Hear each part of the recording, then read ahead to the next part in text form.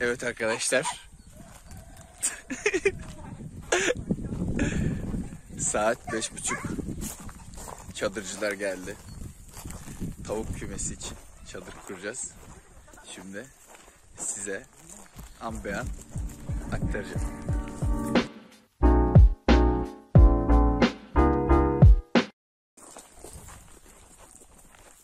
Abi sen ne yapıyorsun?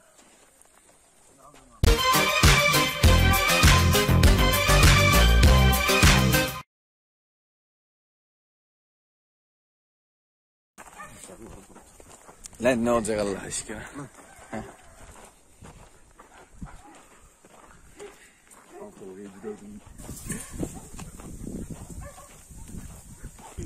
Abi bu sene yaz gelmedi. Geldi de yarım geldi.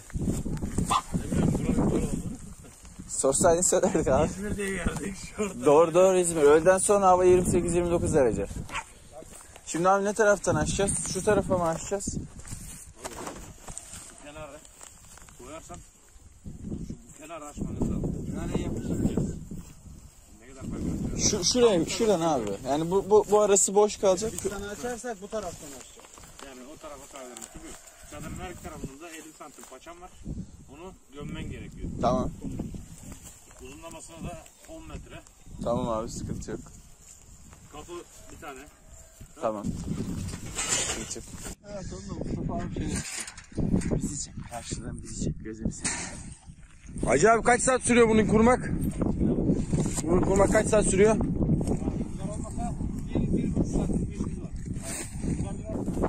Selim. Duymuyor musun abi sen bizi? Tamam. Şimdi gel bakalım.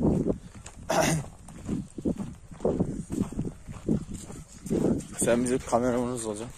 Kameraman mı olacağım? Bunu yalnız mı bırakacağız? Söndür abi.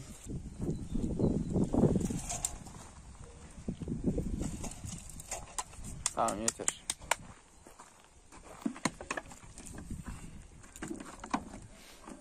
Şimdi size 800 like el yıkama taktiği göstereceğim. Ama ayakkabıları ıslanabiliyorum. Oha Selim, oha! Yarım kova suyla el yıkadın ya. Videosu var valla eve gideceğiz nasıl olsun. O yüzden ziyan edebiliriz, sıkıntı yok. Abi taşıyacağız mı? O yüzden ziyan edebiliriz, sıkıntı yok. Şimdi ne yapıyoruz? Michel Rux'u da alıyoruz oraya.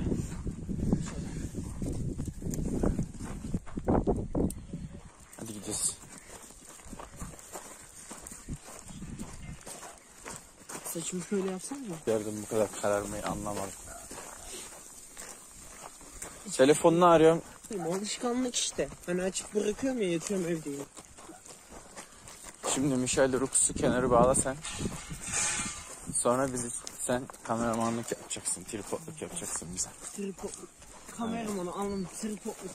Çok kırıcı oldu. Olsun o sıkıntı. Al tripod.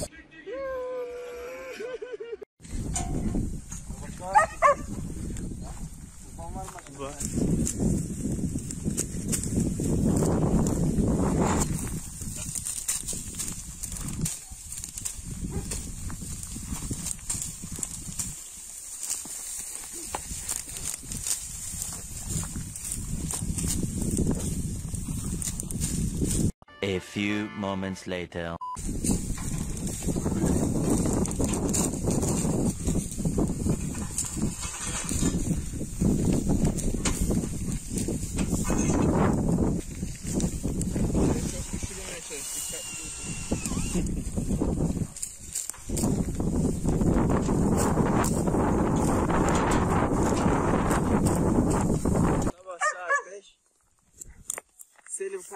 Aranıyor. Ne yapıyorsun Selim? Çakmak arıyor. Ne yapacaksın çakmak diyor. Yarım sıkıntı ateş. Sıkıntı ne yapayım çakmak cebimde.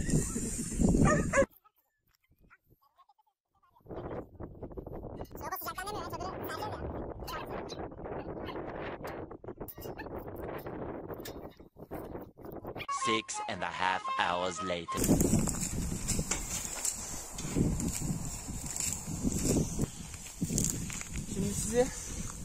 Buğday ayıklama taktiği göstereceğim. Güzel bir tanesini aldınız koydunuz avuca. Şöyle bastıra bastıra kafasına. Bak Hop zaten onlar şey oluyor. Evet Ansel. Üflüyorsunuz. Böyle birkaç tane de kalır. Afiyet olsun sonra.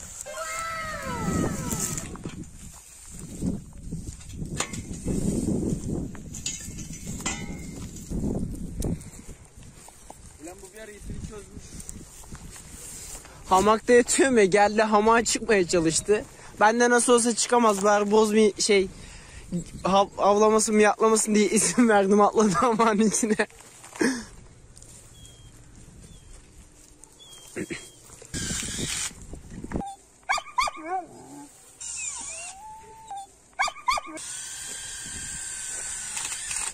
Two thousand years later.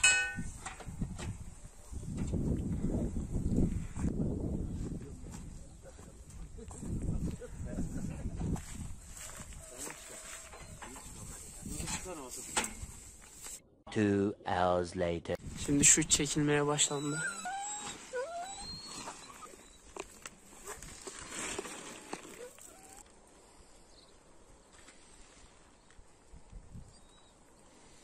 Three weeks later. Başa kadar gideceğiz. Geri ortaya.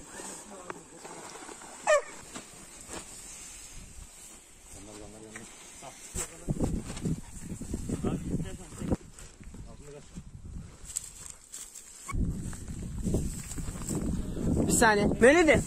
Melody gel. Melody gel buraya. A few moments later. Hayırlı olsun oğlum. Abi çok sağ ol eline koluna sağlık. Ne yapacaksın abi burada?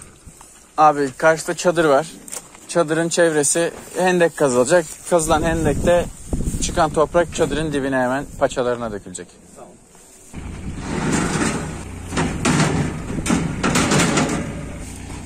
Abi biz YouTube'a atıyoruz da bunları. Allah Allah. Aynen. Daha bu bizim ilk... Reklamımızı yap. Akpınar yap. Ne, ne, ne hafriyat? Akpınar. Akpınar hafriyat. Akpınar. Fesera takıyor. Eyvallah. Arkadaşlar tepsi operatörleri ağzında uzun parlament olmadan asla çalışamazlar. Serhat var arkadaşım. Yani ondan bilirim. Asla çalışmazlar. O yanacak ama hiç onu çekmeyecekler. Hep orada duracak ama. Harbiden ha. Arkadaşlar iş makinemiz geldi. Şu anda çadırımızın olduğu noktaya doğru geliyoruz.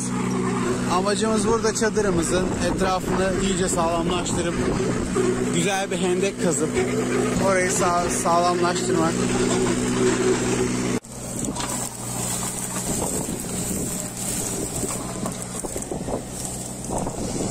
Ulan biz bunu akşama kadar anca yaparız. Sadece şu, şu kısmı akşama kadar. Hayır.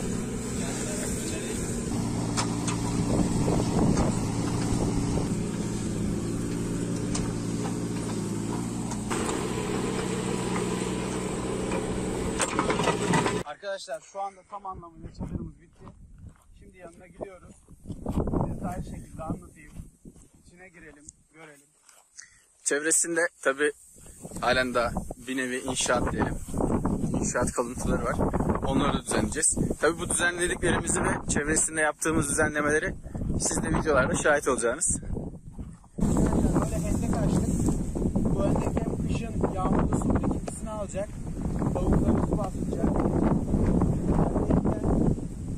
Hendekten, hendekten toprak çadırın üstüne bindiği için çadırda herhangi bir rüzgardan dolayı kalkma olmayacak. Ayrıca ısıyı da koruyacak. Alttan ısı da çıkmasını sağlayacak, çıkmamasını sağlayacak. Böyle güzel bir sistem oldu. Şu an çadırımız gergin. Bunların hepsi toprakların hepsi düzenlenecek. Daha güzel ve e, hayvanlar için daha verimli şeyler olacak. Bakın yani dışarıdaki rüzgar sesini duydunuz. Ama içeride hiçbir kıpırtı yok. Ve ısı da gayet normal. Şöyle çevresini göstereyim size Tolga orayı ayarlarken. Geliyorum. Buradan çok güzel hava girer. Aynen ha. Burayı da açarsak hemen şey olur. Yani direktmen çıkar. Tavuklar dışarıda. Bir şey değil mi? Serinliği hissediyorum. Daha tabii ki şey yok. Ee, şu an hava akımı sirkülasyon olmamasına rağmen yani bu iyi bir şey mi kötü bir şey mi? Bence bu iyi bir şey. İyi bir şey. Yani açıldığında şey olması, kapattığımızda Şöyle bir Nasıl? şey abi. Şimdi kö- kötü hava yükseliyor ya. Yani şu an biz göğsümüze alıyoruz rüzgarı. Ama tabii tavukta bu olmayacak. Tavuk zaten yerde olduğu Aynen. için. Yukarıdaki sıcak hava sirkülasyonu dönecek sadece. daha buralara yemlik koyacağız. Suluklar gelecek ve kapının oraya pervane gelecek. Aynen. İçerideki fanı aman havayı e, fan vasıtasıyla şey yapacağız. Kurtaracağız. Şimdi bizim planımız buraya tekrardan bir şey koymak şöyle e, çit çektirmek. Burada arada boşluk kalsın istiyoruz. Köpeklerimiz iki çit arası gezinebilsin. Gelebilecek herhangi bir sansar vesaire bu tarz şeylere e, müsaade etmesin. Şimdi burada şeyden kalan cam yünleri var. Ekstra biz bunları kendi kulübelerimizde kullanacağız. Aynı zamanda gölgeliklerimiz var. Belli bir miktar buğdayımız e, ziyan oldu, harap oldu diyebiliriz. Ama bu yani yapacak bir şey yok. İki buçuk dönüm diye girmiyorlar abi patolojcular. Hazırlandı diyorlar ki çevreye geleceğiz biz. Şöyle göstereyim. Şöyle İki buçuk dönüm yer için biz giremeyiz diyorlar. Neymiş efendim yol darmış. Şuymuş buymuş. Ya diyoruz 10 dönümlük parası verelim. Yani bakın buradakiler ziyan olmasın yani. Biz işin malın israf olmaması taraftarıyız yani. Üstüne basacağız gidecek. Yarın bir gün biz buraya çim ekeceğiz. Yani bunlar toprağa karışacak. Yani bari zararına da olsa hayvanların kursağından geçsin. Hayvanlar faydalansın diyoruz. Yok diyorlar abi sıranızı bekleyeceğiniz. E tabi bizde işler ucuza gelince eee, gördüğünüz gibi biraz e, ezmek zorunda kaldık zaten. Önceki şeylerde gördünüz. Görüntülerde gördünüz. Bu kadarlık bir e, şeyin buğday ziyan oldu. Yapacak bir şey yok. Şuraya kenara alabildiğimizi kendimiz e, orakla, tırpanla biçerek aldık. Umarım bunları değerlendirebiliriz ve tez zamanda şuraya patoz makinesi gelir, biçer döver gelir. Hasadımızı yaparız. Hiç olmazsa ziyan olmasın, israf olmasın abi. Toprağa karışmasın. Yanlış mıyım Tolga? Tolga Bey bu arada çalışıyor. Ben de mükemmel sunum yapıyorum. Neyse ben Tolga'ya yardım edeyim. Sonra görüşmek üzere.